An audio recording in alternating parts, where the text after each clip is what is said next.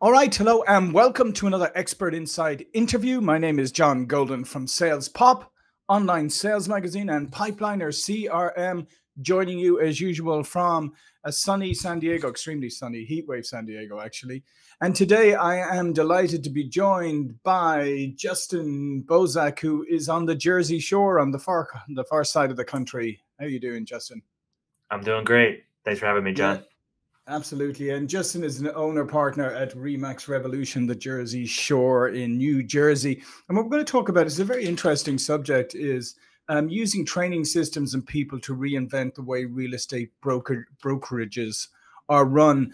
Um, so let's face it, uh, you know, Justin, um, real estate brokerages, they kind of have been run a very kind of traditional, very the same, like wherever you go, it's pretty much the same way they operate.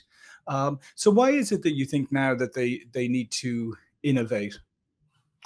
Yeah, I think you see a lot of companies obviously have uh, come in and uh, they're taking market share in one way or the other. You know, the most corporative companies, your Zillow, your Realtor.com, they're not even in the business of uh, doing the transactions of real estate. They're in the business of selling you uh, referrals. You know, mm-hmm. so our goal as an agency is to try to get ahead of that, try to teach our agents how to get their own referrals and get their own business cut out the middleman. Right, and uh, and so if they're going to if they're going to be more, um, if you like, self sufficient, and as you say, cut out the middleman, what are some of the things that they need to do that perhaps other brokerages are relying on these outside sources for? Yeah, I think you need to treat this more as a uh, as a job, you know, than than a hobby. You know, for a lot of agents, uh, they they don't look at this as running their own business. Uh, most agents are running around and their business is running them. Uh, you have to look at this as many, you know, look at this many different ways. Um, if you're looking to you do this as a long-term business and uh, not be out of business within a year or two, what like we see uh, a lot of agents in this industry. And uh, it comes down to just you know working, you know, the hours, putting in the hours, nine to five. Hopefully, being in the office, being in an environment uh, where you can learn and uh, you know also work with some uh, some other agents that hopefully can teach you you know some some things that maybe you don't know. I've been in the business for almost 20 years and uh, there's things i'm still learning and uh, there's an energy uh, and, and, a vibe i believe that comes uh, from working with agents in your office that are also doing high levels of business and there's business to be had in the office and you know that's kind of our main thing that we're pushing to, to help the culture of our office and you know we've got 11 staff in the office which we believe is really the key uh, to making this work. Yeah because it's interesting what you just mentioned there because let's face it a lot of people jumped into the real estate um, market over the every time there's a real estate boom let's face it, a lot of people think oh real estate that's easy. I'm going to jump in get my license and and and jump in and obviously the market becomes very crowded. Um, and then we have a turn in the market and obviously uh, these people start to struggle. So, what are some of the things like when when when the market is maybe a little bit more challenging? What are what are the things that a realtor like you is doing that perhaps a lot of others aren't?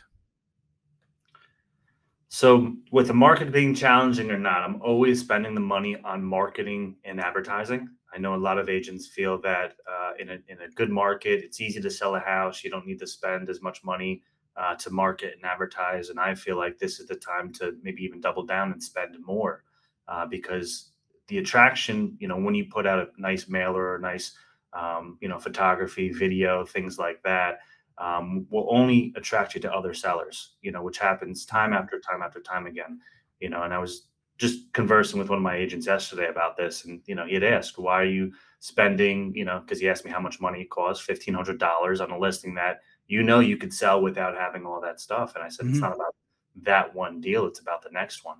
Um, and I told him the story about how, you know, the person around the block saw the presentation, called me, um, and so on and so forth. That, you know, I've gotten multiple listings, you know, and that's the key to this game today is, is the listing side of the business, multiple listings by spending the big money that I didn't necessarily have to. Yeah, so that's so that's a very interesting point there. So really investing in making in showing every seller, every house that you're listing, showing every seller that you're putting 100% into it because yeah, um, you know, we've been, and we can kind of still are, but in a very hot market around here. And uh, I guarantee you, there's a lot of like realtors who aren't doing what you're doing because they're thinking, oh, house is going to, eh, it's only going to be on the market for a day or two. But to your point, is you're not just selling the house, you're also showcasing your work to everybody in the neighborhood as to how you approach selling a house. Correct. You nailed it. Um, so you know, part of the part of the package that I do is uh, you know video. So I'm on camera. Uh, we do a minute to a minute thirty video, uh, and that goes on like social media too as well. So you know, I've had clients where they said, "Oh, a friend of mine saw my house on TikTok. I didn't even know you put it there." Um, hmm. you know, something like that. That will will that lead to the actual sale of the house? It may not. But listen, it's a conversation that, that that's now being had by a client and somebody else that saw their property uh, that they know of you know so now it's visibility right uh, the mm-hmm. more people that see your stuff the more conversations that are had it increases your chances so instead of me uh, doing what i did back in the day making a ton of phone calls to try to find clients now clients are finding me they actually cold call me now to, to work right. with i haven't cold called in, in probably seven or eight years now so yeah, which is interesting because I keep getting text messages from realtors I've never heard of around here asking me if I'm, uh, especially over the last year or so, asking me if I'm interested in selling my house, like unsolicited, unsolicited text, which I always kind of find interesting because am I really going to sort of go, oh yes, here, text back to to something completely anonymous, somebody I've never heard of, and say, oh yeah, suddenly I, uh, I think I want to sell my house, sure. Yeah, I think they're more likely to react to like a nice mailer piece that you drop or, you know, a social media piece, video, something that's going to really say, "Ooh, like if I'm going to sell my house, like that's who that's how I want my house presented or that's who I want to work with."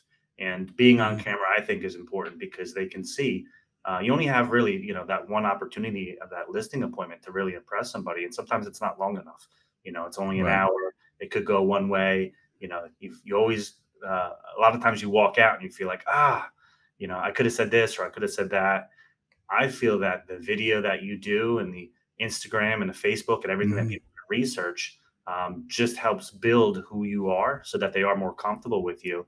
And uh, even if you think that, hey, we didn't cover this or do that, there's something that's that's there out there that they can research and see. And if you know that's the difference between you and another agent that doesn't really have a social media uh, present. Mm-hmm that could be enough just to get you that listing. Yeah, because obviously, like the personal branding part of it is is very important, you know, as well as obviously the corporate branding, but the personal branding of it, because at the end of the day, you know, we want to work with people who we like and trust, and and we think have got you, or we believe have got our back in this situation. So, your your personal, if you have a if you have a large presence, or if I can go and research you really quickly and find you everywhere and see that you're a you know that you the, obviously been doing it for a long time but you're very knowledgeable and all of that. Um, this gives me a level of confidence. And so uh, how, how, much work do you with your colleagues you do on or do you talk about how to build a, a very solid personal brand? So i'm actually putting together a training course right now with um, our social media um, representative. And uh, it's going to be like a, a six month course for our agents and uh, so we're going to be spending a lot of time i guess is the is the answer to that. Mm-hmm. um, a lot of kind of what i what i do and put out there um, you know i'm doing it i'm trialing it to show the agency that you know this is how we can put it together. I'm working out packages and deals uh, with videographers and figuring out the formula of how to shoot it how many seconds you know how to do the intro and outro just to make it easy. Um, so that's part of i guess you know building an agency is I'm, I'm doing a lot of things to really pass down to the to the agents because I can only do so many deals. Um, I'm mm-hmm. busy kind of building this. We went from 20 agents five years ago to a, to 150 agents. Um, you know, and really kind of catching steam right right during COVID, uh, when I guess most agencies were were uh, not recruiting and, sure. and retaining. Um, we were able to double in size those uh, those two years through COVID. So uh, a lot of it was just the foundational stuff that we do as a, as a company to try to take the pressure off of the agents. Um, transaction coordinators, we've got a sign guy, we've got a drone and Matterport guy all in house to reduce uh, fees and costs. The social media thing was always available, but now uh, we're training the agents um, technically like how they can start doing it. um, on their own um, to make it more effective and understand it and be on camera. So we're always looking to uh, to push things, and uh, we see where the future is going, and uh, we continue to build things and add things on to the to the agency to to make the agents' lives easier, so they can go and just do more volume, do what they're best at, you know, which is usually negotiating deals and meeting with clients face to face. Yeah, because let's face it. I mean, having the more time you have with your with your clients and obviously prospective buyers, that's where the real value is. So being able to create more time for them for high value activities and i think that's a that's a critical piece that uh, as you mentioned they're trying to more you know more efficient trying to you know get make sure the technology is the right technology training people so that they know how to use it all of these things can obviously help create more time to do the, the higher value activities absolutely yep and then it's the systems then behind it where you you go out and get the lead you know you've got to get it into your CRM. You've got to have drip campaigns. You also have to have mailers. You know, maybe you do build, you're doing billboards, and there's different levels and layers to it, and they all work together. You know, I think where a lot of agents um, kind of give up is is when they see things not working, maybe after three to six months. And you know, real estate it's a long term game. Even when you're working with a client, I always look at it. It's a it's a long term relationship. You should treat your marketing and advertising um, the same way. Yeah, absolutely. And then what about what what kind of changes of approach do you do when the market when a market kind of turns like it is now? I mean, what are some of the things that, that you do to ensure that you weather this? Well, you don't just weather it, but as you said during COVID, that you continue to be successful. So yeah, it's just doing more than everybody else is doing, whatever that may be in your market. You know, so I know when we were doing professional photos and drone and night shots and videos and stuff, this was like going back to 2012. So we've been doing it for 10 years and nobody was doing it. And I talked to some agents and uh, they're in markets where nobody's still doing it. So mm-hmm. it really depends on what market you're in. Uh, but you have to really look at the leaders in that market and then just creatively think and say, like, how can I make my systems better? How can I make the processes better? Um, and maybe adding people, you know, so sometimes it's adding a buyer agent uh, to your team or hiring an assistant, which I think is a, a big move when you get to, you know, 40 or 50 transactions and you find yourself having trouble managing everything, or, you know, you've got that leaky bucket where, you know, things are mm-hmm. falling through. Um, people is a big part of the process. And, uh, you know, that's something where if I grow to 20 staff, I think that's cool because we've done things that are a la carte within the office, um, marketing and stuff like that, where you're not mandated to do it, but it's a great mm-hmm. option. It's right at your fingertips. You just push a button and and it's literally done. Um, you know, we're building an app uh, for the office as well to kind of have the agents if they get uh, have an issue, maybe uh, they need help with a showing or something like that. You know, you push a button and you know one of the agents will step in and, and help you out for forty or fifty bucks. Um, so as an agency, we're it's all about just creating solutions um, as an agent, if you're an agent listening to this, what are the solutions in your market? You know, obviously, I don't mm-hmm. know your market or your area, but I bet if I sat down with you and talked to you about what's happening in your area, who's the lead agent in that area, researching that lead agent and what they're doing, uh, focusing maybe on some marketing areas that aren't maybe being hit by that agent, but are surrounding that uh, you know area that you're looking to get into. Um, it could be, hey, uh, I have a lot of agents that wanted to get into luxury. You're sitting down with them and saying, hey, focus on these areas that are not being tended to because mm-hmm. the price range is less, but your odds of converting there are better because there's less presence there. You can go in and just set up shop and then just, you know, go do deals there. Start there and then you can build some areas around that area. So it's it's really comes down to, you know, how much are you taking time to sit down and look at your business and where is it coming from? Is it referrals? Is it from open houses? Like where are you mm-hmm. successful? Is it from cold calling? Find out where your success is and double down on it and then cut out the 25% of the stuff that really holds you back from doing more of what you're the best at. And each agent has a different answer. Yeah no that's that's that's interesting. Yeah i'm i'm sure.